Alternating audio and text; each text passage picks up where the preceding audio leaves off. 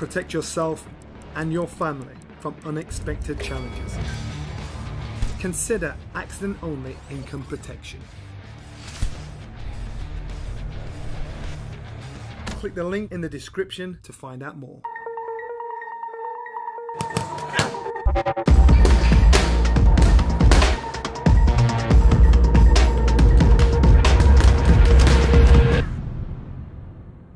Boxing King Media in association with the Riyadh season. Uh, Spencer, it's uh, the next morning. You've not had a lot of sleep, but I, we, we, did speak to you last night about the fight, in know, Fury and Ngannou. Mm-hmm. It was a quick rushed interview, but I just wanted to get a bit of a breakdown from you. Mm-hmm. The first thing I've got to ask you, Spence, is, or just asking you off camera, why and how was Francis and Ngannou able to have like such a foothold in that fight? Just kind of break it down for me from you know, a boxing perspective. Uh, I would I would say it's it's a lot of things. A lot of things is got to be down to Tyson Fury, and a lot of things like where Tyson Fury usually trap guys. We saw he, he done it really well in uh, when he fought Deontay Wilder. He'll feint, then throw the jab, feint, then he'll double up the jab. Um, but that's just with one striking hand, like your your your your your your leading hand, which is your left hand if you're an orthodox fighter. What Francis Ngannou is very very good at doing it's like he's used to not only getting you got to think about it, there's eight punches that can go to your head from your left or your right hand, right? Eight punches. Francis Ngannou, let's say Ngannou, Ngannou has been used to dodging elbows. He's been used to avoiding knees. He's been used to, you know I mean, spinning kicks. All of these kind of things are used to the head. So you, us knowing like boxing compared to to MMA, is actually limited combat sport, right? It's a beautiful sport. It's a sport that I love emphatically, right? But in the fact of the requirements what you can go do, it's still limited. So that helped him. But not only that, but I believe that um, Ngannou is just a natural athlete. And if you look at him and you look, my friend, I went into his change room afterwards. I couldn't believe the size of the bro. You know what I mean? And so those things, and not only that, you're in training camp, and everyone was saying I was with Sugar Hill and John Fury just after the fight. We're having a good chat, and and he had a 12 week camp, and he was saying like he was on it. And I remember like uh, when he was here, and he's, Tyson was he, he, he looked on it, but when you're when you're in with someone who's got more to lose than what you have been in with. So Tyson Fury's narrative has always been like, right, I, look how I was raised. I, I beat, you know I mean, mental depression. I, I, you know I mean, I beat the mental health. I got, you know I mean, I had suicidal thoughts, all these kind of things. And you've had a man that has literally come from nothing. Do you get that part, sir? Yeah, I mean, boxing comedian know what it's about because you, you know the struggles. You know the struggles. So someone's come from nothing, and they say I've got nothing to lose, and I'm going to grab this thing with two hands. And he did grab this with two hands because he knew that he couldn't really box with Tyson Fury. So he said, right, I'm going to keep everything compact. And this has got to be uh, massive props to his trainers and, and also to to the instructions of what uh, Mike Tyson were like. Mike Tyson knows boxing. Historically, he's on point, man. Seriously, I've sat, I've debated hours with Mike Tyson. He, he's on point. So you got to think. We can look at the formula of which Conor McGregor did um, six years ago when he, well, sorry, eight years ago when he fought, when when he fought Floyd Mayweather, and Conor McGregor never looked natural in the stuff that he was doing. He looked like a fish out of water, right? But Francis Ngannou originally started boxing first, and when you look at big guys, big guys, they're they're big guys in the UFC the, those heavyweight guys, they, they're usually strikers. They're not taking you down to the ground, and they're usually strikers. And he just knew to keep things compact, and he did that. He did that. He scored the knockdown in round three, which, right? but how, how, shocked were you when that moment happened? Because that silenced everyone. Bro, oh, also massive big up to Spencer Brown for hooking up my ringside seats. There was a little bit of confusion in the beginning part with my seats, but thank you very much, Mr. Brown uh, from Gold Star Promotions. Got big you up hard. You, you're a cool guy. You're my namesake as well, but everyone knows I'm better looking. But like, so when, when, when he got knocked down, it was something like the Saudis didn't have anyone who they were siding with. They were like Tyson Fury, yeah, we're going to cheer for you at this present moment, but we like the backstory of Ngannou. But when Ngannou scored the knockdown, all of the Saudis were on side, right? That's just how it goes. You know what I mean? That is just how it goes. So, but I was shocked. I know I asked you earlier, like we've seen Tyson. Like if you talk about the boxing side of it, Tyson makes does feints and people fall for the feints and he comes in. But in Ngannou, what you saw was a guy that just kind of stood his ground and uh, basically was willing to trade. He was like punching with him. He was like trying to. In, he was kind of draw Tyson. Tyson was trying to draw him in, and he was drawing Tyson in, and he was like countering left. It seemed like the, the countering his right hand with the left hook was like. Did you pick up on that? Yeah. Obviously. Yeah. I, I, Is that a good game plan for Tyson Fury? Uh, it was, but also we got to see is like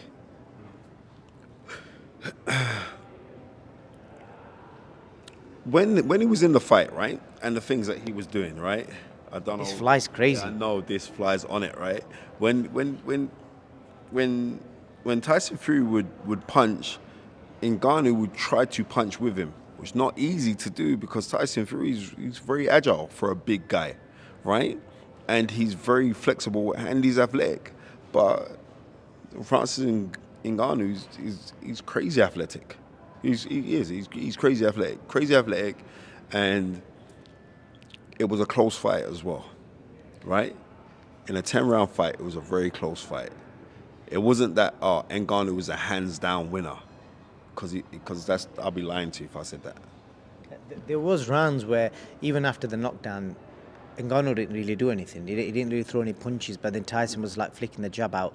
Uh, how do you think them rounds must have been Yeah, scored? so- exactly. So what Tyson Fury is doing is is he's he's stealing the rounds, but he's not going with the narrative. With the narrative is like you're not meant to be stealing the rounds. You're meant to be dominating the rounds. So because you're not dominating the rounds, and we're so used to seeing you dominate rounds and outbox guys who are professional boxers, he didn't do that. So because he didn't do that, we're thinking like, oh, the narrative is let's go with the moral victor. And the moral victor last night was Francis Ng- Ngannou because he wasn't meant to do what he did. He wasn't meant to do it. We was looking at it as a joke fight, and maybe Tyson Fury kind of took his eye off the ball. And he may not, he ain't gonna admit that to no one because he was talking all hyped and like we're in this, I was fortunate enough to stay in the same hotel as him, got to talk to him, and and he was kind of like, right, don't worry, I'm gonna smash this guy. And it wasn't, you can't, sometimes you can't get up for things. Like he wasn't up for he wasn't. Because somewhere in the back of your mind, in the subconscious, it's like, he's a UFC guy. Come on, man, I'm going to play with this guy, man. I've been with Deontay Wilder. Right? But that was an in, incredible performance. And that, you know what? You know what? When they say, like, um, um, life imitates art and vice versa, what we saw yesterday was actually Rocky. If you watch the first Rocky movie, right?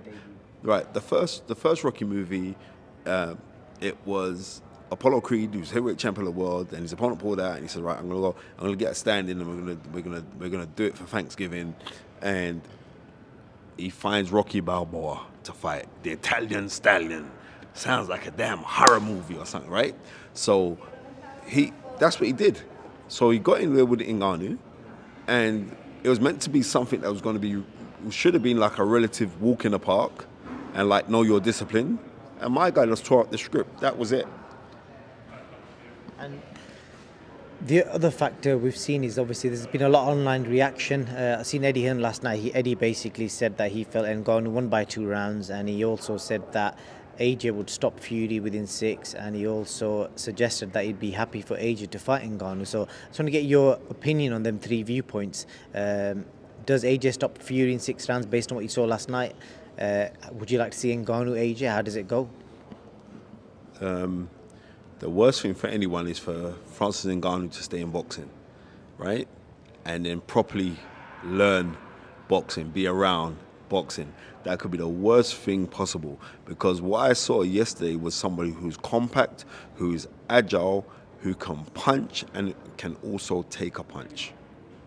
So when Eddie Hearn saying about uh, putting AJ in with Ngannou or putting AJ in with Fury, you know,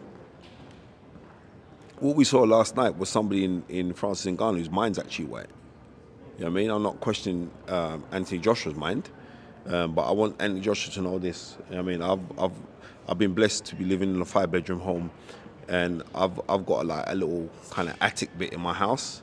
I could put I could put a mattress there. I could close it up. It could be a dark room, and you could pay me two grand a night. How about that one? we need the money. if AJ, you know, if I don't know if uh, I'm going to speak to Spencer in, in a bit, but if they made some Spencer sort of Brown. Spencer Brown, if it's worth saying that Spencer Brown, if, if he made an offer, because obviously he's, he's holding the keys to the fights in Saudi at the moment, but if he went and made an offer to Eddie Hearn for AJ and Ngannou, based on what you've seen recently, how could you see that fight unfolding? Put you on the spot. You have put me on the spot. Uh, I think the black guy wins. How about that one?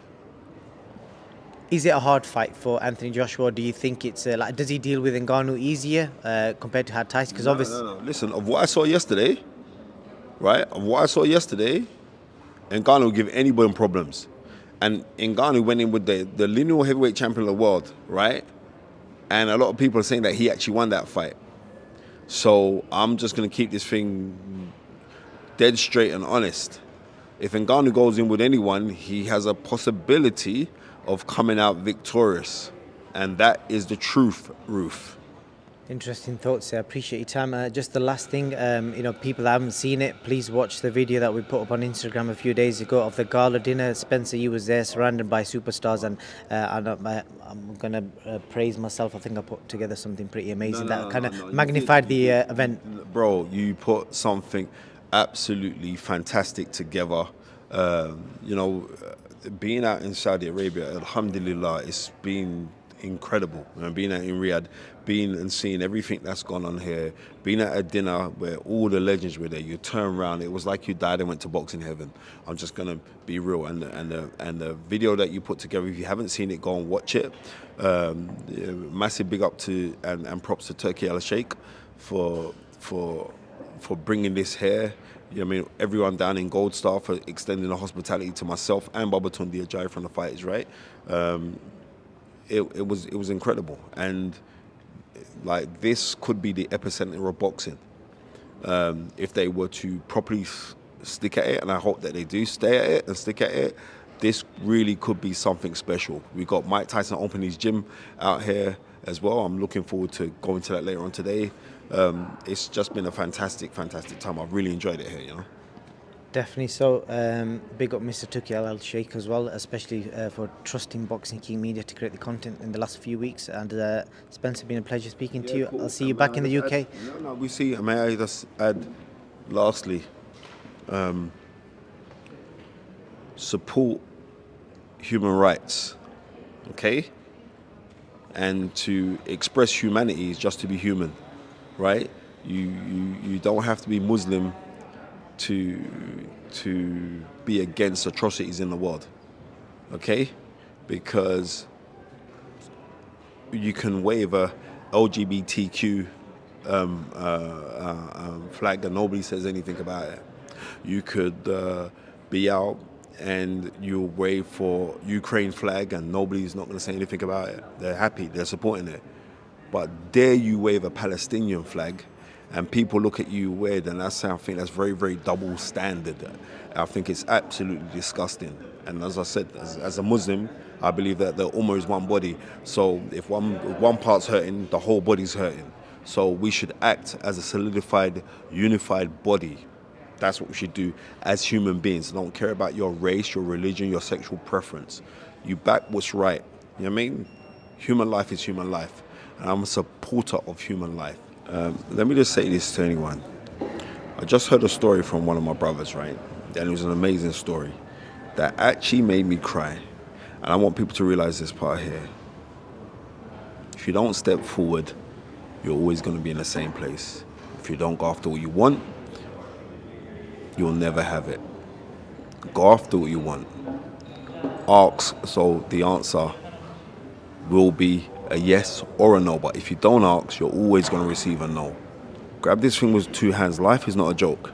And life is, we, we, we, we do things and we're living and we think we're going to live forever. We're not. We're here for short moments, short periods. Do your best to touch someone's life. do your best to be respectful, do your best to be honorable, do your best to show love to your friends, to your family, to your loved ones. Do your best because that is all we're here for. And in all of that, wake up in the morning and say thank you that you've woken up. Because I know too many stories of people who've gone to sleep and not woken up. Too many stories of people being ill and, and, and, and can't do it, and then their whole life changes at a blip. And they're the breadwinner of their houses, and now they can't, they're struggling right? Then life is a struggle. But when things go bad, don't go with them. Keep on pushing forward, put God first, and you can never ever come second. Peace, two fingers, I'm out. Big up, massive big up to Boxing King Media. Thank you.